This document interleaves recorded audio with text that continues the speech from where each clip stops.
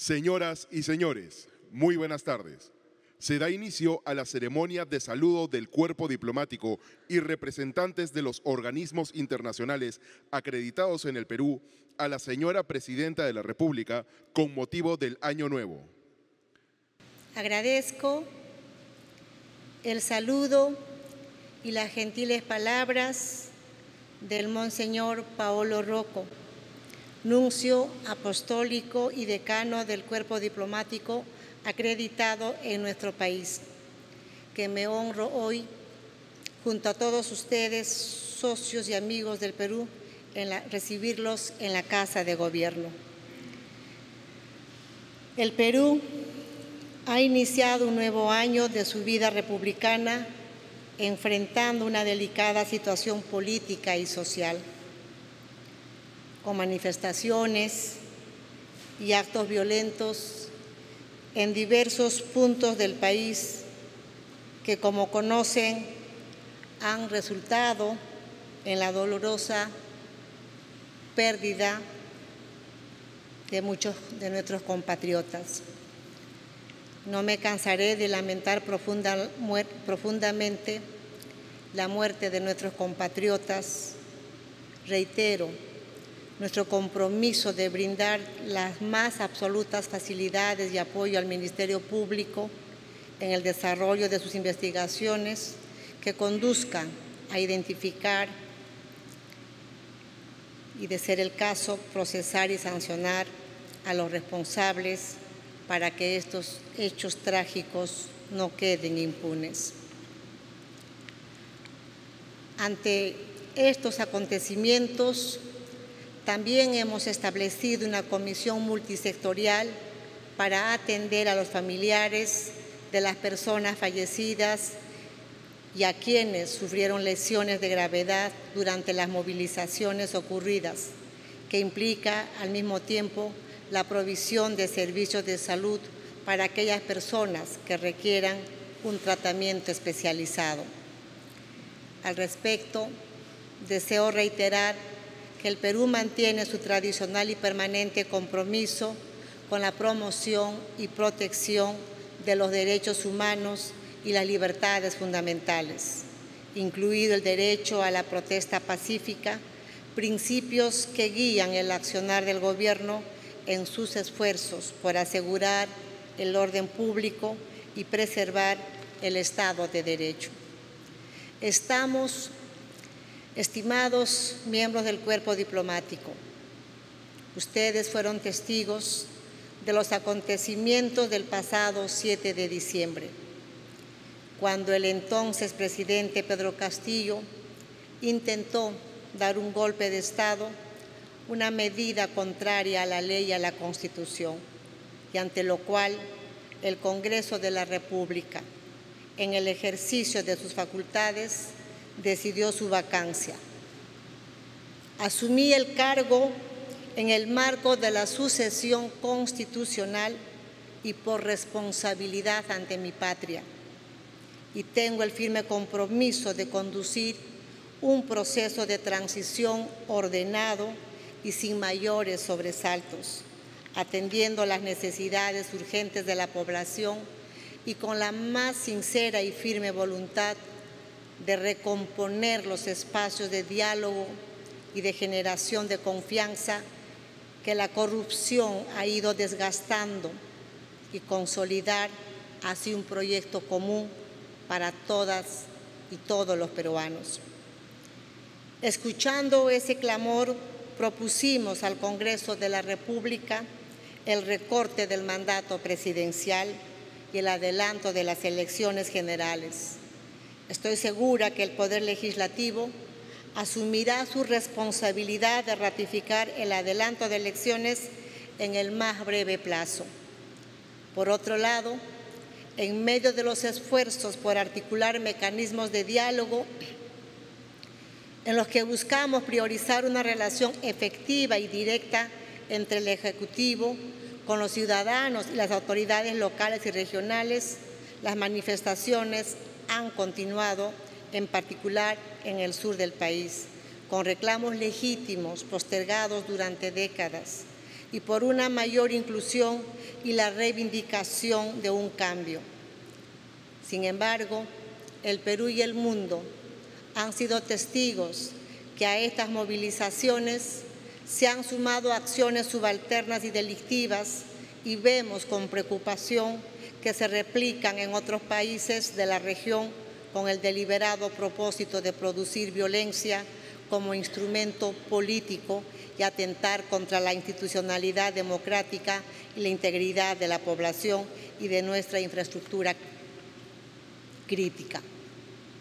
Pese a lo anterior, reitero con convicción y firmeza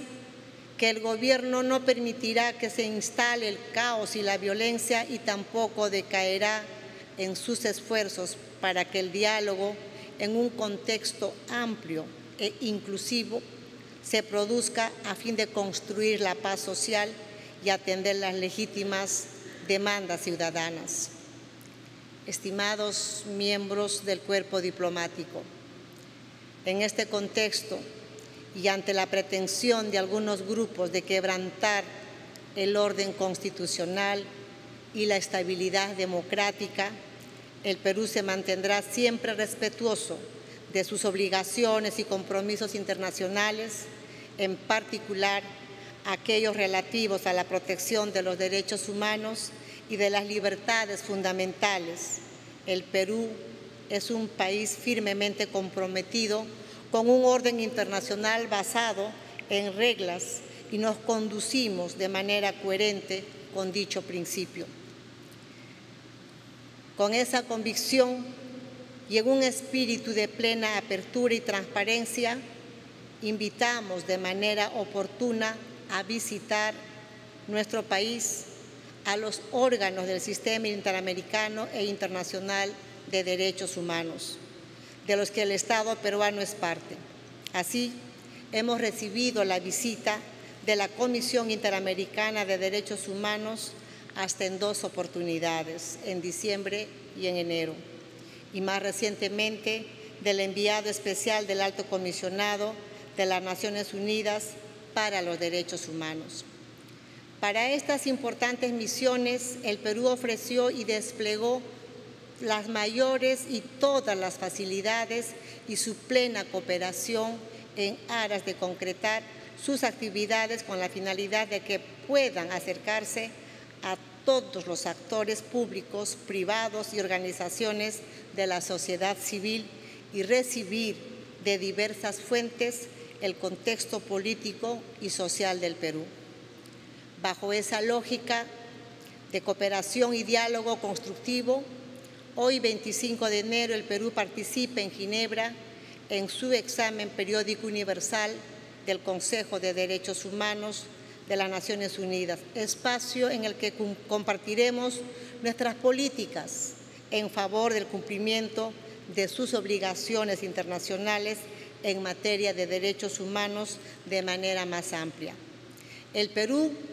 será receptivo a los informes que resulten de estas y futuras misiones, cuyas conclusiones y recomendaciones,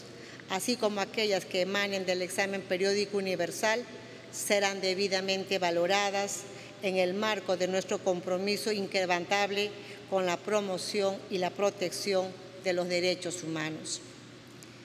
Estimados miembros del cuerpo diplomático, el mundo enfrenta hoy grandes desafíos el orden internacional reciente ha estado marcado por la fragmentación y la falta de, solidaridad y cooperación, generándose amenazas a la democracia, al multilateralismo y a la plena vigencia del derecho internacional y a los derechos humanos. La pobreza y la extrema pobreza, la desigualdad, la falta de acceso a una educación y salud de calidad el cambio climático, las brechas en tecnología e infraestructura, la desigualdad de género, la corrupción, el narcotráfico, el terrorismo internacional, entre otros, siguen amenazando el desarrollo sostenible de nuestros países. Frente a esta realidad, la cooperación entre los estados ha sido y es y seguirá siendo indispensable para solucionar aquellos problemas que, por su naturaleza transnacional, un solo país no puede resolver por sí mismo,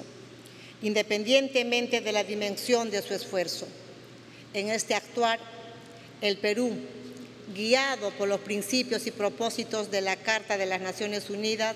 seguirá promoviendo el diálogo multilateral, la solución pacífica de las controversias, la búsqueda de consensos, el irrestricto respeto al derecho internacional, porque constituyen las mejores herramientas para ponernos de acuerdo y trabajar por un bienestar compartido. Es en este espíritu que el Perú ha asumido importantes compromisos internacionales para el 2023, como es la presidencia de la Comunidad Andina y próximamente de la Alianza del Pacífico. En paralelo, seguimos trabajando en la hoja de ruta para nuestra adhesión a la OCDE, así como en la implementación de la Agenda 2030 para el Desarrollo Sostenible. Estimados miembros del cuerpo diplomático, agradezco las expresiones de apoyo y solidaridad y las muestras de preocupación de sus países hacia el Perú en momentos en los que resulta crucial preservar la institucionalidad democrática con pleno respeto a los derechos humanos y conducir un gobierno de transición que lleve al país a un proceso electoral limpio, democrático y transparente y con observación internacional. Este camino permitirá a todas las peruanas y a todos los peruanos hacer valer su voto de manera libre y así canalizar las legítimas demandas postergadas. En este esfuerzo, sin duda complejo, confío en que el Perú seguirá contando con el apoyo de sus países con los que nos unen históricos lazos de amistad y cooperación que valoramos profundamente. Muchas gracias. Muy buenas tardes.